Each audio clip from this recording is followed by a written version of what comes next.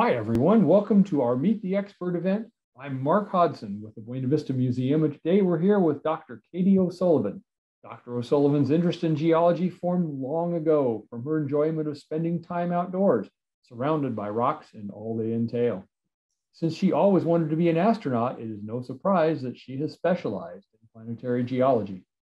Today, she will be sharing with us how Earth's moon was formed and some explanations of some lunar features including how lunar meteorites contribute to these understandings. Dr. O'Sullivan received her bachelor's degree in geology from Cal State Bakersfield.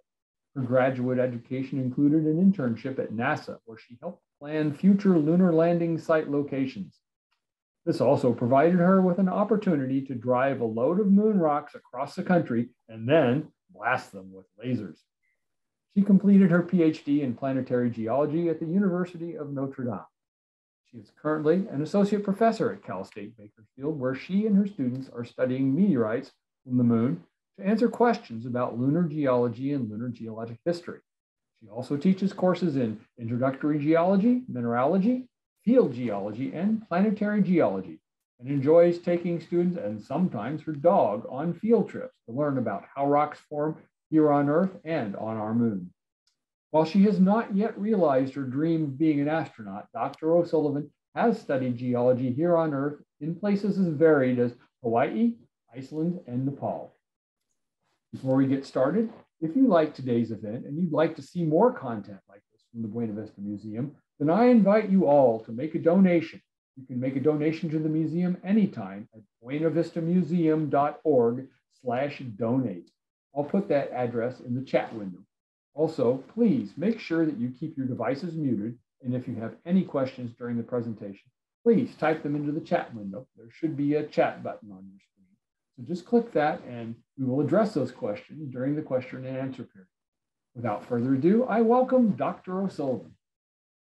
Thank you so much. Uh, it's wonderful to be here, and I'm so excited to talk to everyone about planetary geology and the moon. So with that, let me share my screen here.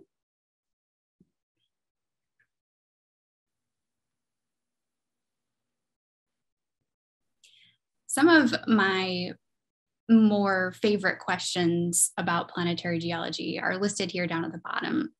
Where did the moon come from? Where is it going? what were the first rocks to form on the moon? And why do the near side of the moon and the far side of the moon look so different? So those are questions that I'm going to kind of touch on tonight. And uh, I'd like all of us to think like planetary geologists tonight and um, make some observations uh, of the maps that I'm going to show you in these slides. So it should be pretty fun. But um, all of this research is not done in isolation. So I am not some crazy Einstein genius. I have so much help, and particularly at Cal State Bakersfield, that help comes from students, both graduate students and undergraduate students. So there's some pictures here of um, my students, and uh, I just wanted to give a, a, shout out to them because they are uh, so wonderful at, at helping with this really exciting research. And there's a picture of my dog because I had to put that in there. She's also helps. okay, so the moon is our uh, closest celestial object. This picture here shows the Earth and the moon to scale. Now they're much further apart in real life, but it gives you an idea of exactly how large the moon is. It's pretty small compared to Earth, but as far as moons go, it's quite large. Uh, Mars has two moons that are much, much smaller than our moon here.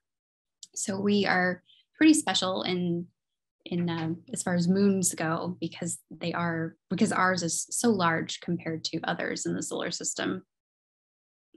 But it's as i said it's not that big. So to give you a better idea of how large it is i put this map of the united states on the near side of the moon. So you can see you know if you were to drive across the moon or drive across the united states about you know how long it would take.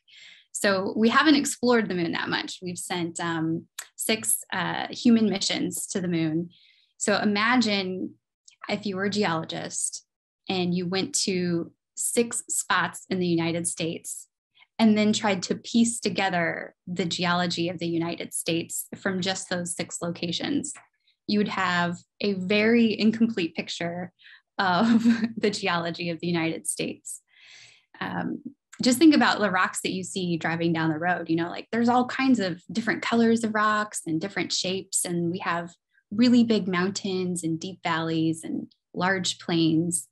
So there's a number of really exciting questions in planetary geology because our picture is so incomplete. Um, so this is a, a, um, a little picture here of the Earth and the moon to scale. So this is how big the Earth is compared to how big the moon is. And then the distance is to scale here. So the moon is really far away, which is why we've only been a couple of times. It's pretty difficult to get there. Uh, we've figured it out in the late 60s, early 70s, and we're trying to figure it out again how to get to the moon. And one of the reasons that we want to go back to the moon is eventually we may go on to Mars. And in order to go on to Mars, we really need to, you know, take a little baby step first and figure out how exactly humans are in space again in the year 2022. Um, so the moon is really far away, not as far as Mars. Um, and it's a really great stepping stone to Mars for that reason. So before we go to the moon and before we talk about the moon, uh, since we are going to be planetary geologists tonight, I thought I would uh, put this planetary map up of Earth. So take a moment here to make some observations about what you see on the map. They don't have to be, if you're not a geologist, that's that's cool. Um, they can be, you know, just non-geology observations. So one of the first things that I see is lots of blue. There's lots of water here on Earth. And then I also see ice at the top and the bottom of this map. So there's water in two forms that I can see. There's liquid water in the oceans and solid water in the, the ice caps. I also see pieces of land. Some of them are connected, and then some of them are separated by ocean. I see, you know, areas of green. There's lots of life here on Earth. Life is is covered has covered the planet um, to the deepest parts of the ocean and to the deepest uh, parts of the crust as well, and also to the tallest mountains. So there's just life everywhere on Earth. As a geologist, I see chains of mountains, and I have my mouse here. I'm going to circle uh, the Himalayan uh, mountains here between India and China. So there's long chains of mountains. We have one closer uh, to Bakersfield here. We have the Sierra Nevada and the Rockies. The Rockies show up more on this picture here. Um, we also have areas of desert, large plains, and um, we have little islands too. But um, I would say, you know, the, the most striking feature, the two most striking features are water and life. And because we live on Earth, we think those things might kind of go together. Um, so we don't have any life on the moon, and we don't expect to find any evidence of life on the moon. We do have a little bit of water, and the more moon rocks that we study, the more water we are finding. Nothing like an ocean, um, but we do have, you know, a tiny, tiny percentage of water on the moon. So that's pretty exciting. So as a planetary geologist, what I see when I look at this map is the lack of craters. So if I switch um, over to the moon now, the first thing I see as a planetary geologist are all of these circles. And these craters are formed by impacts. So they're not volcanic craters, they are formed from a meteorite hitting the moon and making a really big hole and then splashing bright rocks out. So you might see this crater right down here with these large, uh, really long, bright rays. The other thing I see when I look at this picture is dark areas. So there are these really large uh, filled in craters of black stuff. and there's a lot more of it on the near side than there is over here on the far side. Um, the other thing that I see is no chains, long chains of mountains like here on Earth. And then I don't see any oceans of water, no life. Um, and that's about it. So the moon seems to have, some would say, you know, maybe not as uh, of a complex history, but as you'll find out tonight, it's it's pretty complex and it's exciting to tackle those questions.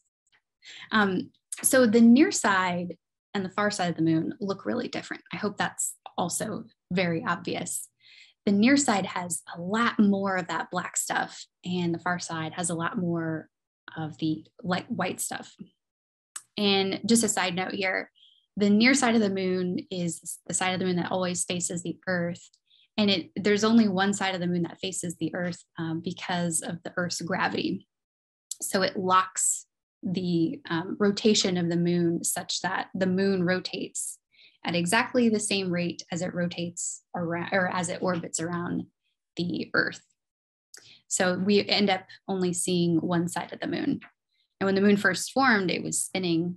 Um, and the who if there were humans on the earth then, which there weren't, um, it would have been, you would have been able to see the near side and the far side. But since for the past uh, couple of billion years, we've only been able to see the near side of the moon from Earth's perspective. Okay, so near side and far side are different. We have black areas, we have white areas, we have lots of lots of craters. So let's continue our planetary geology observations here by looking at another map. This is an elevation map. So the scale is down here at the bottom and it's in kilometers. So we have minus eight kilometers all the way up to 10 kilometers. So that's the total amount of uh, elevation that we see on the moon. And so the deepest parts of the moon are these purple colors, really cool colors. And these are going to be on the far side down kind of near the South Pole. And the highest elevation parts of the moon are nearby, and they are right here also on the far side. So the observations that I make here with this map are the near side and the far side of the moon also look different in elevation.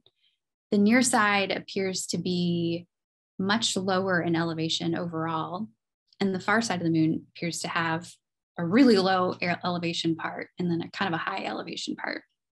You might notice that there's a big hole here on the far side of the moon down near the South Pole. It doesn't really show up in the visual image. I'll, I'll go back one slide. But maybe now you kind of see this shadowy area here. So it really shows up on the elevation map. It's a very deep hole. And this is the oldest, largest crater in the entire solar system is right here on the moon, right next door to us. Uh, it doesn't look like um, like a perfect uh, crater shape anymore because it's so old and it's been eaten up and chewed up by other craters that have subsequently landed in it. But it is the oldest and largest uh, crater. So going back to the near side, these areas much lower in elevation generally. And what this map allows us to see is how rough the surface is. So the surface on the near side of the moon is generally a lot smoother. The surface on the far side of the moon is a lot rougher. And if we were to look at these smooth areas over here, these correlate to those dark areas that we saw in the previous slide. And if we look at these higher elevation areas here, that correlates to those really bright white areas. So maybe we can start making some hypotheses at this point. Let's look at one more map this is a chemistry map. So I'm a geochemist, so I have to put some chemistry in this presentation. Um, and this is a map of thorium. Now, thorium is a radioactive uh, element. It doesn't really go into rocks readily. Uh, we wouldn't expect to see lots of thorium just around. Um, but when we made this map of the moon, we got back a really striking result. And that is that, again, the near side and the far side look very different. And those black smooth areas correspond to areas of really high thorium. So in this map, the uh, warm colors are higher concentrations of thorium. This is in parts per million, so 10 to 12 parts per million. It doesn't sound like a lot, but it's a lot for a rock. Um, so these this area here um, on the near side of the moon is high in thorium. It's dark in color. It's smooth and it's low elevation. And then that hole on the backside of the moon also kind of has an elevated concentration of thorium. It has two to four parts per million thorium, which is higher than all of the white areas around it. So we can say that the, the white areas are higher in elevation um, and they are lower in thorium, and they're also rougher in surface texture. So I'm just putting this one in kind of for fun. This is a geologic map. And a, ge a geologist, they color the units with all of these crazy wacky colors. And so it ends up looking kind of chaotic. Um, but each of these colors here represents a different geologic unit. Um, and so these uh, this big uh, red area here corresponds to that area with high thorium, smooth, low elevation, and dark color. Um, but if you ever are want to see a bunch of uh, colorful maps, I would recommend Googling a, a, uh, a geologic map of the moon because it's quite colorful. All right. Um, so now that we've made some observations with those maps, uh, I want to go take a step back here and tell you a little piece of lunar planetary exploration history. This is the first photo of the backside of the moon. So this was when this photo came in, this was the first time human eyes had seen uh, the backside of the moon, the far side.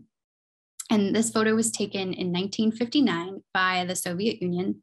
And this was during the space race. So Soviet Union and um, the US were, you know, racing to get to the moon first. And the Soviet Union was totally killing it at the beginning of the space race. We ended up winning because we sent humans to the moon. But in the beginning, it looked like the Soviet Union was going to win because they had these really major milestones, like sending us the first photo of the backside of the moon. Now, how we got this photo is a really fun story. So, the Soviet Union sent a spacecraft into Earth beyond Earth, sorry, beyond Earth's orbit, and they sent it all the way to the moon. It was the first spacecraft to get to the moon, and it was the first spacecraft to stabilize itself. Um, and it was also the first spacecraft to go to the backside of the moon and perform operations.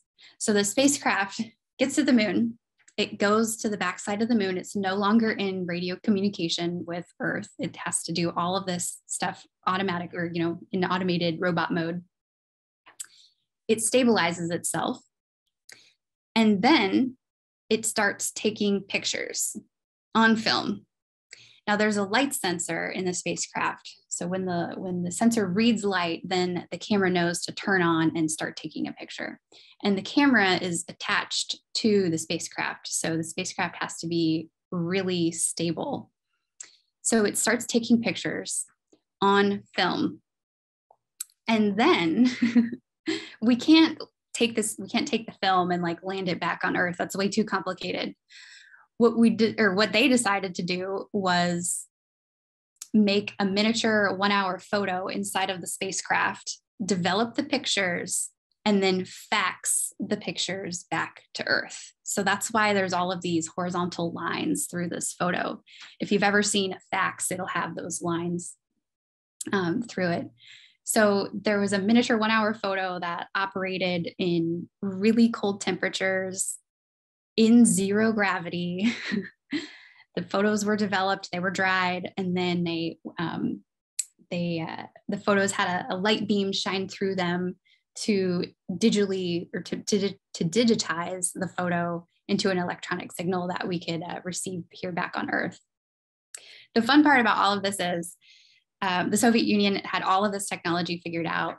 They couldn't figure out how to have film develop in cold temperatures. And so what they did is they captured um, a spy balloon from the US and stole the film out of it, took the film out of it, and used American film in their spacecraft to develop these photos.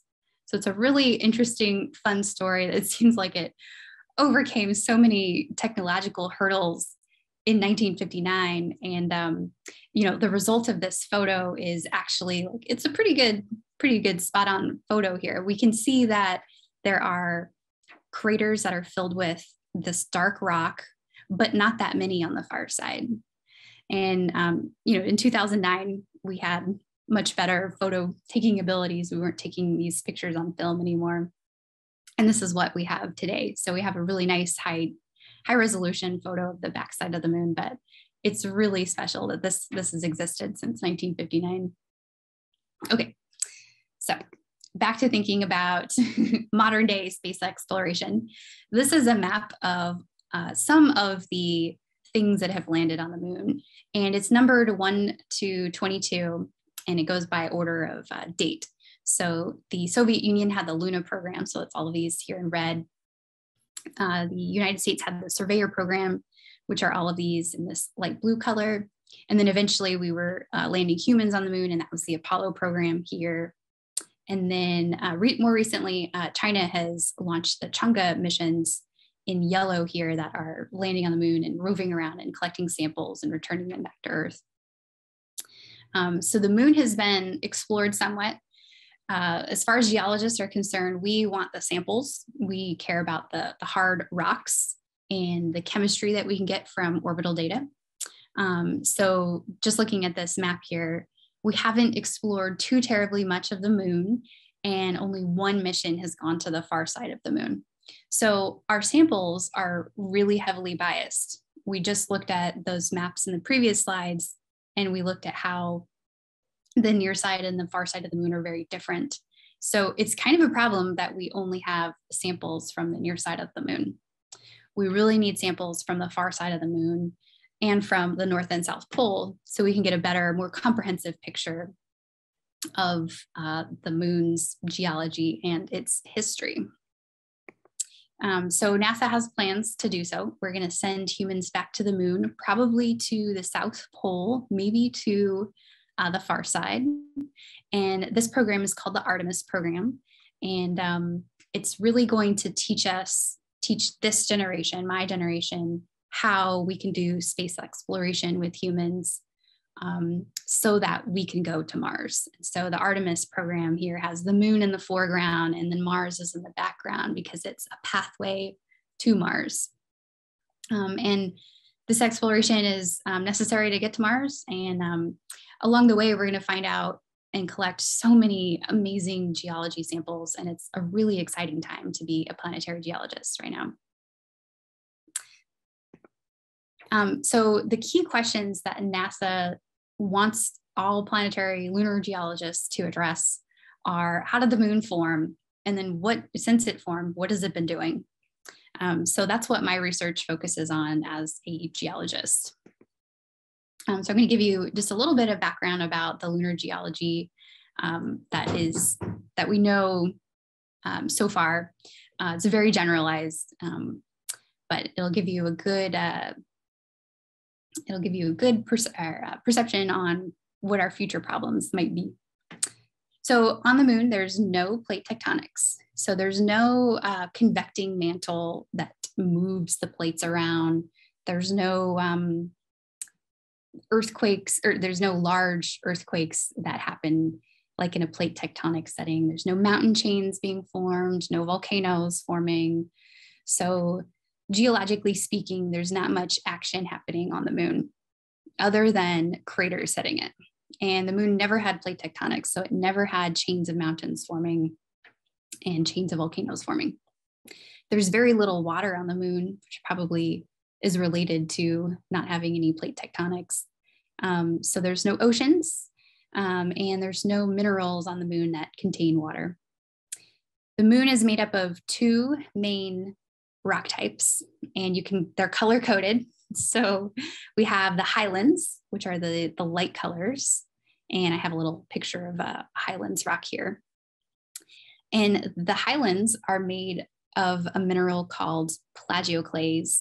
It's called plagioclase feldspar. It's also called anorthite, um, but maybe you've heard of plagioclase. It's a mineral that contains lots of calcium and aluminum, and it's really light colored.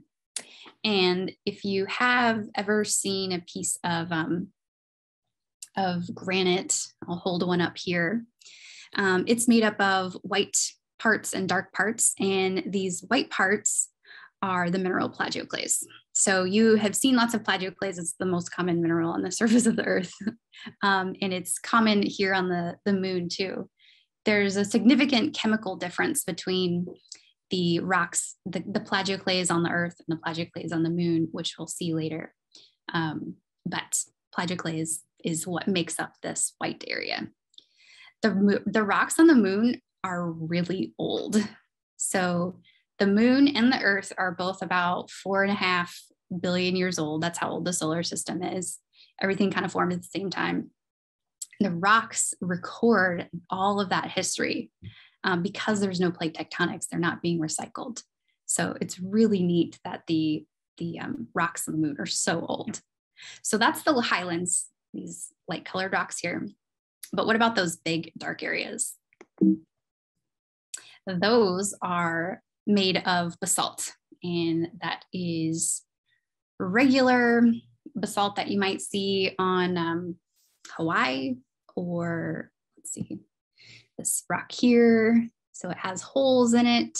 Um, this picture that I have on the slide also has lots of holes. Um, so this uh, rock is made up of minerals called pyroxene and olivine.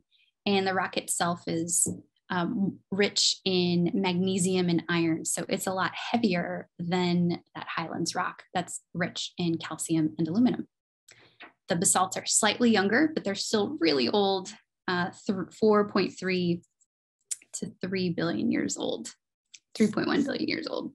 So one of the main questions we have is, well, where did the basalts come from? There's no plate tectonics on the moon, so how did we get melted rock in the interior of the moon?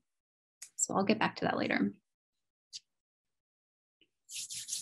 Um, but just to take a step back here, because you know, it's these questions are exciting for me to think about. I'm a geologist, but why do why should other people care about the, how the moon formed? So one of these, um, per, one of the reasons everyone should care is if we're going to go back to the moon, we need to know where to go for resources. Um, so this picture on the left here shows, you know, a, a, future moon base where we might be extracting mineral resources from the moon. Maybe we are able to make rocket fuel on the moon, which would be much more convenient than lifting stuff off of Earth. The moon has a lot less gravity than Earth.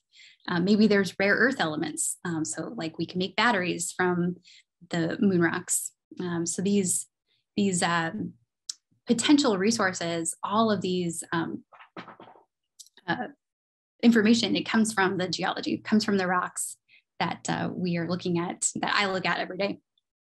And then, you know, the moon, we care about why the moon formed because that tells us how other things might form. So this picture on the right here shows, you know, a, a fiery birth of some planet. It's lots of molten things happening, and and um, we just don't have the rocks left on Earth to answer those questions. Because we have plate tectonics and rocks are constantly being destroyed and weathered and subducted and then um, formed into metamorphosed into new rocks, we just don't have rocks that are that old, as old as you know the Earth. So the moon is a more like a fossilized Earth. We can think of it that way, and um, it's a really great place, a close place to go and pick up those fossils so that we can learn more about how the Earth formed and the other interior planets like Mercury and Venus and Mars.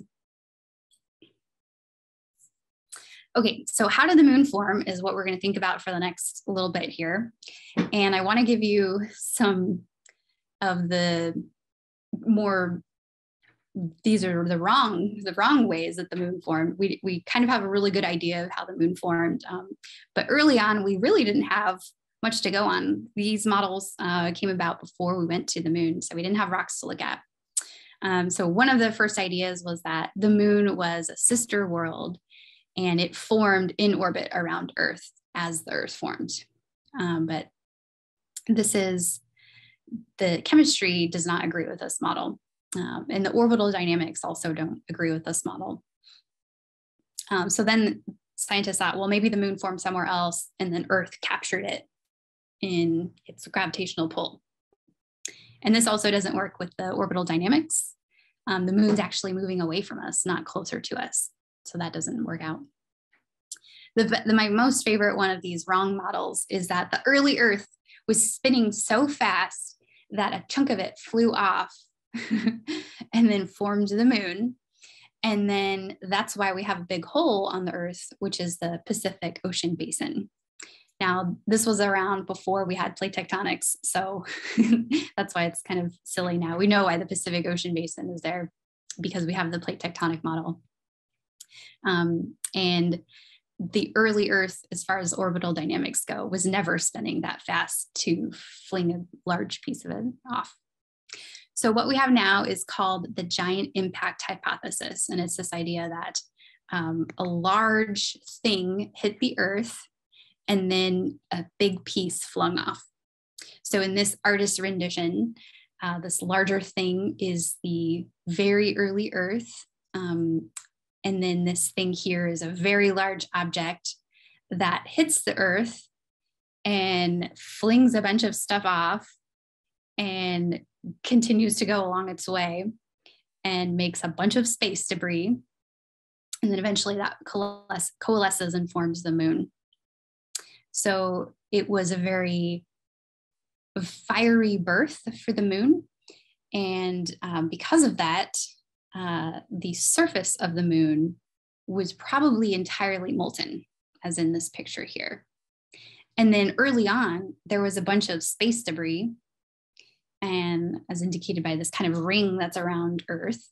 And so there was a bunch of impacts in the beginning, and a lot of space debris was probably hitting both the moon and the Earth, but we just don't have a record of it on the Earth anymore. But the moon still keeps that record. So, as a geologist, I don't really know about all of those orbital parameters and the physics behind um, the moon's birth, but what I can do is look at the rocks and then from there tell myself and the world something about uh, where those rocks might have come from and how they formed. So um, let me go back one more slide. So we have a magma ball basically uh, that is the moon. So no solid rocks whatsoever. As that magma starts to cool off, things are going to start to solidify and crystallize. And the first things to crystallize are heavier than the magma. So that's what these little squares falling down are. So the, th- the crystals that crystallize fall towards the interior of the moon. And I'm going to go back one more slide so we don't watch it on repeat. The, the first crystals to form sink down towards the interior of the moon and they make a layer that gets thicker and thicker and thicker. And then eventually, there's no more ingredients for those crystals to form. So a different type of crystal starts to form. And um, as that new crystal starts to form, it has a different composition and it ends up being lighter than the magma from which it came. And so those crystals float to the top of the moon. And in this rendition, those crystals are going to be that white um, layer that starts to grow from the top down. And then we're left with a little thin layer of magma in between those two layers. So this is the same uh, schematic, or this is a different schematic showing the same idea. So we have the first um, little wedge here showing that there's a lot of magma and that crystals start to form. And those crystals are called olivine, and it's a mineral that's rich in iron and magnesium. It forms and sinks down. And then another mineral called pyroxene, also rich in iron and magnesium, sinks down. So they're both denser than the magma. And then as those ingredients kind of run out of the magma, then a new mineral has to start forming. And that mineral is plagioclase, the really bright white one. And it floats to the top. It's, it's enriched in calcium and aluminum. It's a lot lighter than the magma. So it's going to float to the top and make a crust. And these arrows indicate, you know, like heat escaping the uh, through the crust, and then there's convection happening. Um, but then eventually we end up with a, a really thick crust of the white mineral, plagioclase, a really, really thick, almost like a, the mantle layer would be um, of olivine and pyroxene. And then we have this last little bit of melt, this little thin layer here. And that's where all of the fun geology action happens. So that last little bit of melt contains all of the elements that don't normally go into minerals. Um, so it contains really wacky things like thorium, for example. It contains other stuff like rare earth elements, gold would be there, uranium, um, anything that doesn't really fit into the crystalline structure of our olivine, pyroxene, and plagioclase. So that last melt is enriched in thorium. And this model with all these little pie wedges here suggests that that layer would be circling encircling the entire moon. It would be a global layer. But what we don't see is a global layer of thorium. So I brought back up the thorium map and we have a lot more thorium on the near side and not so much on the far side. We do have a little bit down here. So our model of how the lunar magma ocean crystallize does not correspond to our observations here of our global thorium. So this is a fun, interesting problem that we can use samples to address. Now, just to convince you that the lunar magma ocean did in fact happen, we have a lot of rocks that could only form through a global lunar magma ocean. And these rocks are what make up the lunar highlands, and they're that bright white color. And I have, I'll hold this up again so that again, it's that white rock or that white mineral that you would see in a piece of granite. Um, and these rocks are mostly made up of that mineral uh, called plagioclase. So our unanswered questions about the lunar magma ocean are, there are many, and here's just a few. How long was it crystallizing? How long was it molten? How deep was it? Was the entire ball of the moon molten or was there some sort of core? And then what what was the initial melt composition? What was the chemistry of the giant ball of magma? Is it the same chemistry as Earth? Um, and then in particular, my research um, at Cal State Bakersfield focuses on, does the lunar magma ocean model explain all of the rock types that we see? Because remember, our rocks only come from the near side. Um, so our models are slightly skewed. Um, and so one way that we can get around that is by looking at rocks that come from other areas of the moon. And again, we care about all of this because we're going to go back to the moon and utilize the moon's resources. And generally, we need to know, you know, how planets form, so that way we can understand Earth better. Um, so the Apollo landing sites, I have them mapped out here. Um, only went to the near side very limited, only six of them. Here's um, an astronaut deploying a seismometer, which detected moonquakes. Um, these landing sites are where most of our rocks come from, most of our moon rocks, and they're only on the near side. So they also kind of correspond to those areas of high thorium. So this is a problem. We need rocks from other places on the moon. And that's where meteorites come in. So meteorites are things that are blasted off of the moon eventually make their way to Earth. And they can come from anywhere on the moon. I mean, like statistically, like they're going to come from, you know, much more representative place than the Apollo samples. So I have one such meteorite, and there's a picture of it here, and then I'll show, I'll hold it up to the camera. So you can see it. It's cut in half now, but this is what it looked like when it was whole. And then there's the cut end. You can see little speckles in it. Um, and these little white parts are the bright parts of the moon. And then the darker areas are those basaltic pieces from the dark areas of the moon. Um, so this is a rock made up of a, a little pieces of other rocks and it does not look like much. I mean, this is not like what a meteorite, when you think of a meteorite, which I have a more common meteorite, this is what you think of like a really dark, heavy thing that's magnetic. Uh, but lunar meteorites don't look like that. Um, and so importantly, they can come from anywhere on the moon and they provide us with samples that um, can potentially come from the far side. So that's really exciting. So uh, this lunar meteorite, um, I took it and I sliced it up into a bunch of really thin little pieces of rock that are mounted onto a glass slide so that you can put it underneath the microscope. So the slide here is showing um, the picture and then I'm holding one, the same rock up to the camera. Um, so they're about an inch wide. Um, and I got about 20 of these little tiny thin pieces of rock from half of the meteorite. And um, again, we can look at these rocks with the microscope and then we can also analyze their chemistry.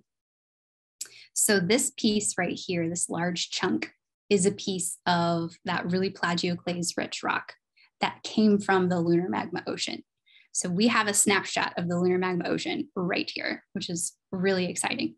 So what my research group does is we look at the chemistry of that, we compare it to the Apollo samples, and then we try to fit it into the lunar magma ocean model. And you know, spoiler alert here, it doesn't fit into the lunar magma ocean model. So the model itself is um, needs to be updated with the with the more comprehensive set of rocks that that we are now getting. So one thing that people always ask me when I show them the meteorite is how do we know it's from the moon? So I have a few graphs here. This is my only slide with graphs to convince you that it's from the moon. And the short answer is we know it's from the moon because of the chemistry. And in particular, we have the um, iron and manganese concentrations of different um, minerals. And the iron and magnesium, mag, manganese ratio is uh, unique to the Earth, to the moon, to Mars, to Venus, to the asteroid belt. Um, so one way that we can quickly identify a meteorite is based on these two elements. So these little dots here are um, analyses from our meteorite and then from published data. And then the line shows you kind of what they should fall on. And then the green dots are from our data, from published data, and then the line that they should fall on. And then the black lines are the earth trends. Um, the next way that we can tell these rocks are from the moon is by looking at the amount of calcium that is in those plagioclase minerals. And so on this bottom graph here, we have, it's labeled AN percent. What that means is the amount of calcium that's in it. Um, and so the higher the number here, the more calcium that the plagioclase contains. And all of these gray blobs here are the most calcium rich things that we have on Earth. And all of the moon rocks plot way further to the right and contain a lot more calcium. So the moon rocks are all these colored symbols here. Um, so we simply cannot get a calcium rich plagioclase on the earth like we do on the moon. Also, we don't have any common minerals like quartz or calcite um, or clay in our moon rocks, uh, in our meteorites. And those things are in every single rock here on Earth. So we conclude that this rock came from the moon, which is good because um, you know, it came from a meteorite dealer who was selling it as a rock from the moon. So it was good. So we can do better than that with the chemistry. We can tell you where it came from on the moon. So this is um, a map of what you, a visible map that you would see um, of the entire globe of the moon. And the middle part here is the near side, and then the two edges are the far side of the moon. And I have the Apollo landing sites listed on here. Uh, those are those orange numbers. And I also have the Soviet Union uh, Luna landing sites in green. And then these blue pixels are pixels that match the chemistry of our rock with the chemistry um, that we see on the surface. So our rock came from one of these blue pixels, which is really exciting. And specifically, these pixels and our rock, what we're comparing is the amount of um, iron, thorium, calcium, and aluminum. So all of those values match um, between the surface of the moon and our rock. So it's pretty exciting. Now, for future studies, we are going to look at these individual rock fragments. So I have just a couple of random pictures here. They're all at a different scale. You'll see the scale bar down at the bottom. Um, some of them are quite large and some of them are quite tiny. But each one of these little rock fragments is a fragment um, of a rock from a different part on the moon. Because it is made up of a bunch of different bits and pieces, those bits and pieces are distributed by impacts hitting the moon and flying rock fragments everywhere. So we get a actually really large sample area based in this little tiny rock. And so all of these rock fragments we think came from the lunar magma ocean originally. And that's going to tell us about the chemistry of the lunar magma ocean, how it evolved, what was crystallizing, how long it crystallized, how things were mixing in the lunar magma ocean. Um, really exciting questions. So the goals of my research group are to evaluate all of these different rock fragments that we see in the meteorite. And we want to see what this, what interaction this last melt had with um, the crust uh, above it and how it produced rocks. Um, why was there melting? Um, and in doing so, we are going to end up challenging the lunar magma ocean model. We're going to make the model more robust. We're going to make it more precise with the additional rocks that we are adding to the lunar rock collection. So the basalts that fill those craters on the near side of the moon came from the heat that is produced by this last little bit of melt that was enriched in thorium. So the last bit of melt is enriched in thorium. Thorium's a radioactive element over millions and millions of years, tens of millions of years, enough heat builds up that some of the crust melts and then percolates up and then forms a little basalt uh, layer on the surface of the moon. But the lunar magma ocean says that that melt should be global, should surround the entire moon. And we don't see that melt everywhere. We only see basalt on the near side, a few places on the far side, and then we don't see a thorium uh, signature everywhere on the moon. It's different on the near side and the far side. So these are some really fun, interesting questions that um, myself and other research groups at different universities are studying. And with the potential um, new rock samples that are coming in the next couple of years with the NASA Artemis missions, we can really, um, you know, figure out exactly what's happening with the lunar magma ocean model. So as always, our key questions are how did the moon form and what's been happening since? And um, NASA intends to aim, you know, to continue to answer these questions with the Artemis mission. So I would like to uh, thank you all for coming tonight, and I hope that you um, got to think a little bit like a planetary geologist. Um, yesterday was the 53rd anniversary of Neil Armstrong and Buzz Aldrin landing on the moon. And so this picture on the left here is a picture that Neil Armstrong took of Buzz Aldrin. And Buzz is um, deploying one of the geological instruments from the lunar module um, so that they can place it on the surface of the Earth. So it's been 53 years since we first returned uh, human, you know, samples from the moon. And uh, we're going to go back to the moon in just a few short years and collect more samples and work on these really exciting problems. So with that, thank you so much. And I welcome any questions. Thank you. Maybe uh, I should see if our uh, remote attendee has any questions first. He's muted. I hope I set it up so people can unmute. Let's see. Okay, I think we do have a question. Hey. Okay, you may ask your question. Wait, remember your question? Lauren, get on the camera and ask. Come over here and ask. You can ask her. Good sentence, Lauren. Okay. Um, did the when um when a planet when the planet crashed into the Earth, did the um chunk grow back on the Earth? Did what roll back from the Earth? Did did the chunk grow back on the Earth? The part of the earth that got knocked off, did that grow back and heal the earth? That's a Ah. Mhm. Yeah, that's a good question. So the chunk ripped off of Earth, and then the Earth was entirely molten like lava at that point in time. And so it formed a sphere again. So there's no really big hole on the Earth. And then the chunk that came off formed another sphere, and that became the moon.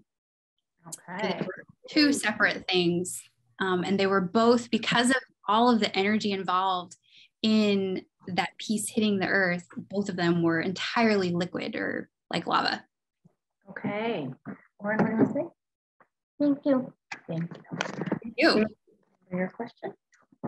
I know at the museum, we have a number of false color image maps, and I've read stories about how enterprising people have used uh, for this analysis of these uh, wavelengths or that were taken uh, images and combine them to find things like copper deposits on Earth where they hadn't seen before. Have they done any of that with the moon to identify uh, things that might be worth uh, trying to uh, mine and send back to Earth or use for, like you say, for uh, future space travel? Yeah, so that's how we got the thorium map. Uh, we sent a satellite around the moon and collected um, spectrometer data. Um, and with a thorium map, they use neutrons, and so you bounce a beam down to the map, the moon, and then you the beam comes back up to the spacecraft, and the changes that are happening in space are what tell you what uh, element is there. We can only do it for a couple of different things because of the way that this spectrometry works out. Um, so we have maps of minerals, and then we have maps of thorium and maps of um, hydrogen, which can tell us how much water is there. But we don't have anything like copper or gold uh, or anything like like a classic mining uh, application might be. I imagine some of those are uh, more controlled by plate tectonics. You've already said we don't got none of that there. Yeah, yeah. So the plate tectonics processes really do concentrate those uh, minerals into economic um, concentrations where we can go and mine them. And we don't expect to see that any of that on the moon, with the exception of that uh, thorium rich layer. which we're still trying to figure out according to this model. There should have been just a layer of plagioclase all around the uh, the moon. Instead, we see these mares and trying Yeah. to figure out if if something disrupted things to allow this to the basalt to flow up and form, or um, you know, or was it just the presence of the Earth? You know, Yeah, it does Was seem coincidental that all of it ended up on the Earth side. so uh, I won't speculate too much further than that. know, I could see where there'd be a number of hypotheses, and then I'm sure uh, they've done a lot of work towards the various ones. Obviously, nothing has uh, filtered to the top yet.